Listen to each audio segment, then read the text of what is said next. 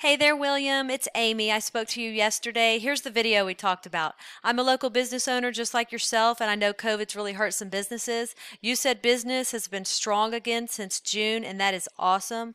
I'm going to show you what you can do to get more customers through your door. So I'm just going to jump in and start going through what I see and where I think you can get the most value. I'm pretty much going to explain to you three things that you can do today to really bring value to your company and start getting more customers through your door, okay? The very first thing I want to go over is your website, what we call content. When someone searches for Movers Spring Text, Google crawls websites on the internet, searching and ranking the sites. It's looking for keywords, it's looking for what should this site be found for. So when I go through here, I see that you have some nice photos on your site and a beautiful layout. I see a little bit of content. Not a whole lot of content. One thing I can tell you about Google is Google loves content. So Google likes to see a minimum of 1,500 words on your front page. And we're looking at right now with your sites, we're probably sitting at about 550 or so words on this page. So adding 950 words of content with keywords that you're trying to target is going to help you get found for those keywords. We'll talk a little bit more about keywords here in a second. But not only does Google just look at your site, but when Google comes into your site, they can't tell what they should be ranking you for if you don't have any keyword specific things on here. So what does that mean? Well, let's look at a competitor. So when I looked up Movers Spring Text, these guys came up. And when we start scrolling through their website, we see content here, pictures, and they have about a thousand words on here. Very beatable in terms of content. So what does all this mean? Well, this right here is a tool I use called Ahrefs. It allows me to see every keyword you're ranking for, how much traffic you get into your site, and we can see here that you're getting found for 19 keywords, and you're getting one person a month to your website. So there's your website. Okay, so when we jump in here and we look at your competitor, they're getting found, so this is their spring text page, okay? So they're getting found for 40 keywords, and they're getting 183 people a month to their website. And when we go in and we look at keywords, we can see movers spring text, 300 clicks a month. They're sitting on the first page of Google for that one. Mover spring text, this is singular mover, mover spring text, 250 clicks a month. They're also sitting on the first page of Google there. Movers spring, 150 clicks a month. They're also sitting on the first page of Google for that. So just with those three keywords alone, that's 700 clicks that you're missing out on, okay?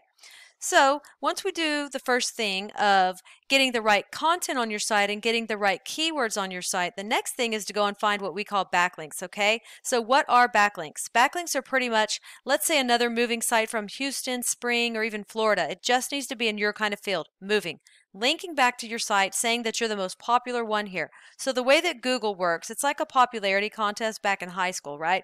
The more sites we get linking into your site, the more popular it tells Google that you are, and the more they want to rank you for these keywords. So we need to go out and we look we're looking here, this is their homepage.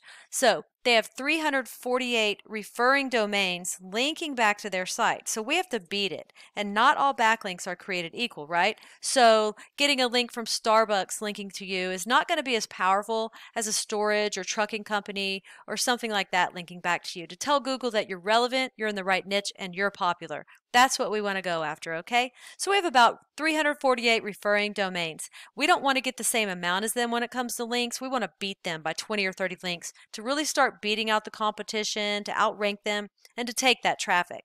And then last but not least, I want to go over the third thing we need to go get, and that's what we call citations. Now, I'm sure you've heard of the map pack before. And then right below the map pack is what we call organic. Now, I looked through and I found advanced movers on page 6 which puts you at number 58. Keep in mind that the top three organically ranked sites on Google will take 80% of the traffic. To get to the top of organic, we've got to get those keywords up, we've got to get all the links coming into your site, and then to get into this map pack right here, we have to go after what we call citations. And a citation is your name, address, and phone number throughout the web on as many directories as possible. And a directory is like Yelp, Yext, CityStar, all those directories that are out there. We want to get your business listed on them. It tells Google you're legit. So we go over here to another resource I use called whitespark.ca. I did a report and I found the top listing on MapPack and it looks like he has 69 citations and then you have 23 right now. So when you come into the map pack, you click on view all, I found advanced apartment movers at number 14. I'll just show you. There you are. Okay? And our goal is to be right over here in this top three position. The other 20% of the clicks on Google go to the top three position on the map pack, okay? So once again, we went over content. We got to get content on your site. You've got a great looking site, but we got to get the keyword relevant content on there. And then once we have that, we want to go after these backlinks, right?